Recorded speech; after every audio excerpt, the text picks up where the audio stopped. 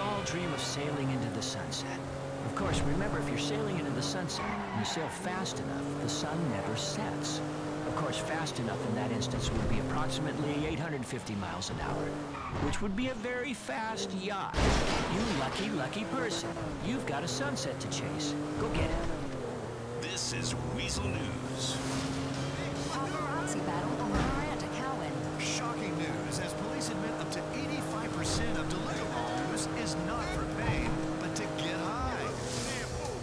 Rival paparazzi came to blows while trying to get photos of TV star Miranda Cowan during a high-speed chase. Miranda, who is on a career downturn, must wonder what she's got to do to keep the media interested.